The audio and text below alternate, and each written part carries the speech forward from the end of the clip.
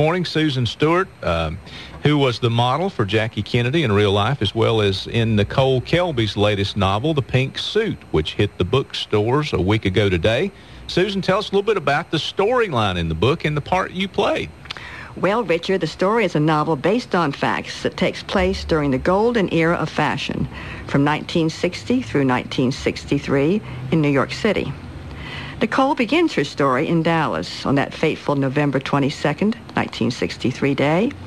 We view the assassination of JFK through Jackie's eyes, who was wearing a pink Chanel suit and a matching pillbox hat that fateful day. That blood-stained suit has become the most legendary garment in American history and has found a place in history in the National Archives. The story is about Chez Ninon, the women who ran it, the women who worked it, and the women who bought from it, including Jackie in the legendary pink suit. The story is around Kate, a young and beautiful Irish immigrant who was a seamstress at Chez Ninon who helped cut and sew the Chanel pink suit for Jackie. Nicole draws a comparison between the life that Kate and the other immigrant workers endure versus the most aristocratic and wealthy women of that era who bought the most lavish and expensive clothes in the world back room versus the front room. A little bit like upstairs, downstairs. Now, Susan, where do you fit into all this? Well, I had just finished modeling school. My agency sent me for an interview at Chez Ninon on Park Avenue in New York City. It was November 1959.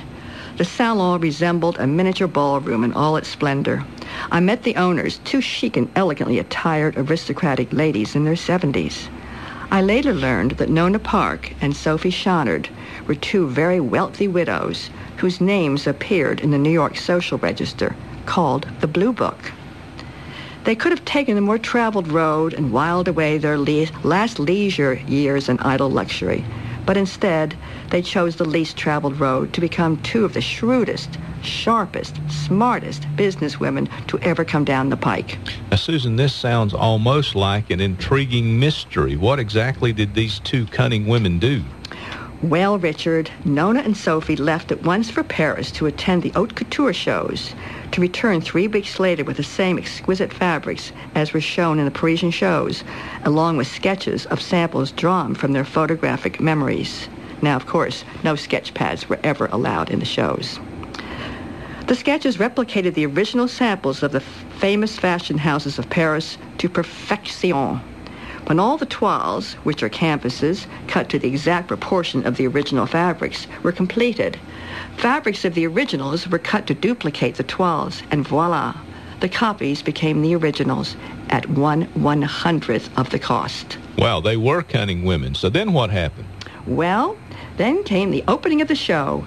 Park Avenue was lined with limousines as far as the eye could see. In paraded the richest, best-dressed women of that era. Among the attendees were Babe Paley, Mrs. Walter Annenberg, the Mrs. Newhouse Byfield, Mrs. Charles Wrightsman, Ailsa Mellon Bruce, who was her silent partner, and the Kennedy girls, Eunice Shriver, Jean Smith, Pat Lawford, Ethel Kennedy, and Joan Kennedy, and of course, Mother Rose. Everyone except Jackie. Being the First Lady did not allow her time away from the White House. Anyway, we models paraded around the room in knockoffs of Balenciaga, Balmain, Chanel, Dior, Givenchy, Lanvin, Nina Ricci, Pierre Cardin, Yves Saint Laurent, and more. As the attendees were oohing and eyeing, Nona and Sophie were sheepishly grinning from ear to ear. Now, they sound like incredible ladies for sure. So where do Kate and the others come in? Well, orders were taken and fittings were scheduled. To begin with, the clothes were made on each patron's particular mannequin toiles, again, which were muslins, were put on the mannequins and cut to their exact proportions. They would come in for the first fitting. Then the garments would be cut to the specs of the first fitting.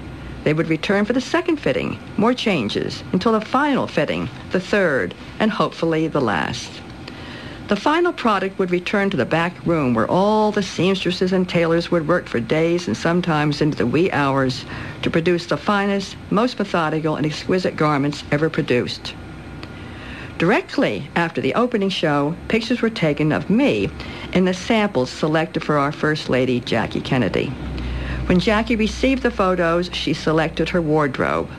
Since Jackie and I were the same size, Jackie's clothes were made on me rather than a mannequin. There was never a need for a fitting for Jackie.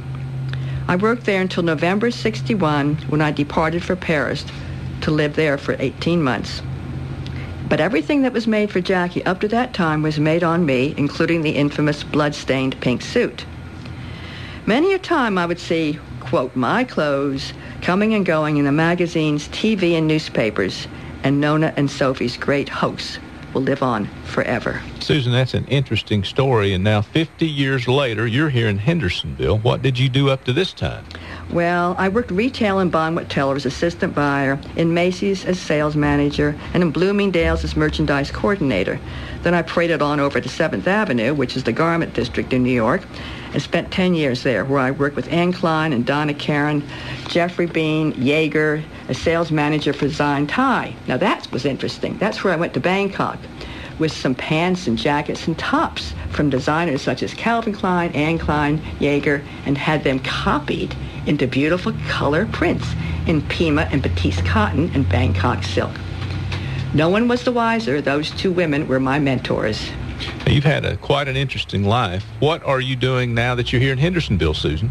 Well, we came here in retirement. We'd come from Florida where we retired for a number of years and we ended up here. But it wasn't long after that that a friend asked me if I would be willing to talk about fashion for her Great Life series.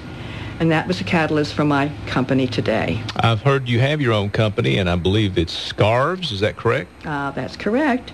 I marble scarves in the colors which are known as winter, summer, spring, and autumn colors, coming from that famous book back in 1982 called Color Me Beautiful, bringing out a woman's best features and making her look youthful and vibrant while giving her panache, pizzazz, and a touch of class. That company is called Sue's Signature Scarves. I'm also undertaking a new venture. I'm adding a personal lifestyle to my company, bringing every aspect of life and what helps women look, feel, and be their best.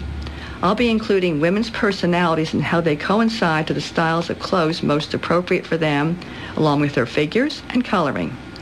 I'll also be interviewing experts on subjects such as skincare, hair care, hairstyling, yoga, nutrition, etiquette, public speaking, everything I can think of that a woman needs to know to give her confidence and self-esteem.